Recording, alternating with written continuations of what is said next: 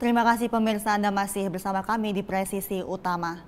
Divisi Humas Polri menggelar acara bertemakan Divisi Humas Polri Goes to Campus yang dilaksanakan di Universitas Bayangkara II Bekasi Utara.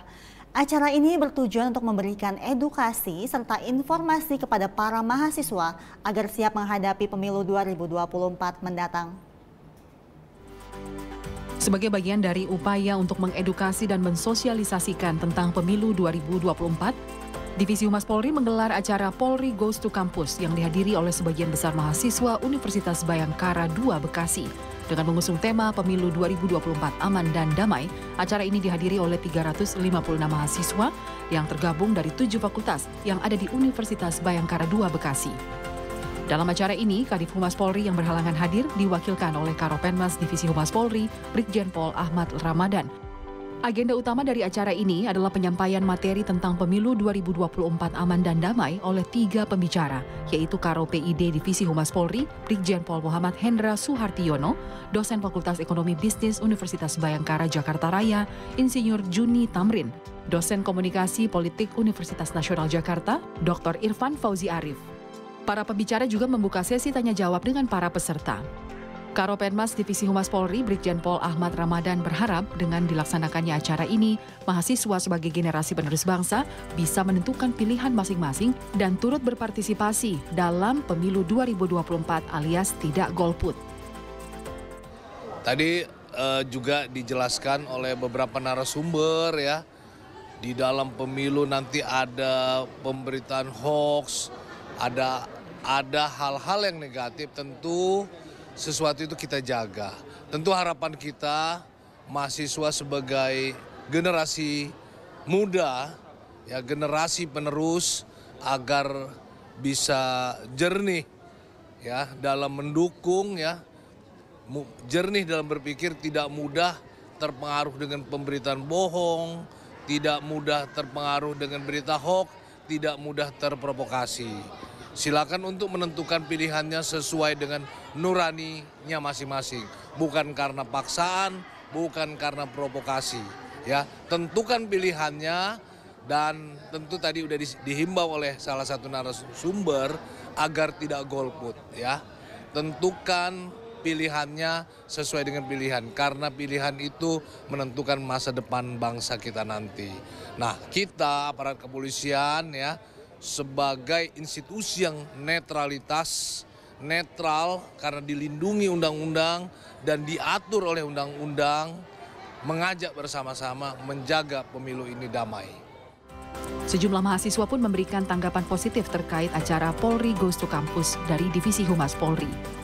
Kebetulan uh, acara hari ini sangat membuka pikiran saya mengenai bagaimana sih kita uh, melaksanakan pemilu, bagaimana cara kita sebagai mahasiswa melaksanakan pemilu secara damai, adil, dan bagaimana sih kita menanggapi misalnya ada head comment atau ada juga ujaran kebencian, bagaimana kita sebagai mahasiswa agar meng, agar bagaimana ya kita agar hal tersebut itu tidak mengganggu pesta pemilu kita.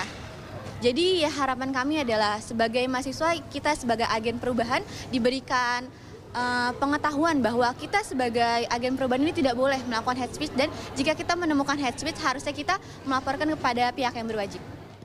Uh, menurut saya acara ini sangat bagus ya, sangat inspiratif buat anak-anak muda seperti saya sebagai mahasiswa dan juga uh, membuka pikiran saya untuk gimana sih caranya jadi uh, gimana jadi pemilu yang baik dan benar untuk besok pemilihan. Uh, harapannya uh, untuk para uh, calon-calon mungkin lebih apa namanya lebih bagus ya lebih untuk ini lebih, lebih maju sebenarnya sih uh, saya sendiri siap sih Oke, siap siap ya? uh, enggak enggak enggak lah enggak golput lah ya. Diadakannya acara ini bertujuan untuk mengajak seluruh mahasiswa sebagai generasi penerus bangsa agar menciptakan situasi pemilu 2024 aman dan damai. Dari Bekasi, Jelang Tita Baskara, Willy Amanda, Polri TV.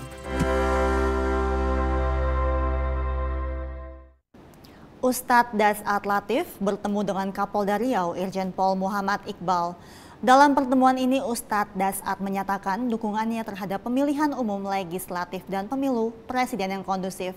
Ustadz Dasat juga berpesan kepada seluruh warga negara Indonesia agar memprioritaskan persatuan bangsa dan tidak terpecah belah. Assalamualaikum warahmatullahi wabarakatuh. Saya Dasat Latif bersama jajaran Polda Provinsi Riau, pimpin langsung oleh Pak Kapolda Irjen Pol Muhammad Iqbal. Kita datang di sini berkumpul untuk bikin komitmen bersama, damai dalam pemilu. Sebab salah satu sebab munculnya perpecahan bangsa ini momen-momen politik, terutama pemilu. Pemilu jangan baper, ya Pemilu pakai akal sehat. Tidak ada yang mau dicapai kejayaan kalau kita rusuh. Menang terpilih presiden tapi efeknya rusuh tidak ada gunanya. Maka pentingnya persaudaraan ini sebagai umat Islam kita punya pedoman namanya Quran. Dan Quran mengikat kita dengan ayat wa'tasimu bihablillahi jami'an wa la tafarraqu. Berpegang teguhlah engkau kepada tali persaudaraan agama Allah dan janganlah engkau bercerai-berai. Sebagai negara kita diikat oleh sila namanya Pancasila. Dari lima sila itu ada satu yang mengikat tentang persaudaraan, yaitu sila ketiga Persatuan Indonesia. Anak-anak muda kita, Jong Ambon, Jong Japa, Jong Selebes, Jong makanya mereka kumpul. Padahal anak belasan tahun, mereka berkumpul di Jakarta yang saat itu disebut Batavia, membuat ikrar. Yang inti dari Sumpah Pemuda itu adalah membawa Indonesia bersatu. Kita bisa jaya di Indonesia ini hanya dengan modal persatuan. Dan persatuan pasti ada perbedaan. Tidak mungkin kita kampanye persatuan kalau kita sudah sama. Karena kita berbeda, beda suku, beda ras, beda agama, tetap kita harus bersatu. Pemilu, beda partai, beda calon, silahkan. Itu hak demokrasi. Tapi jangan baper, jangan berpecah belah gara-gara pemilihan presiden. Begitu kira-kira Pak Jenderal? Sangat. Terima kasih. Pemirsa tetaplah bersama kami, Presisi Utama akan segera kembali.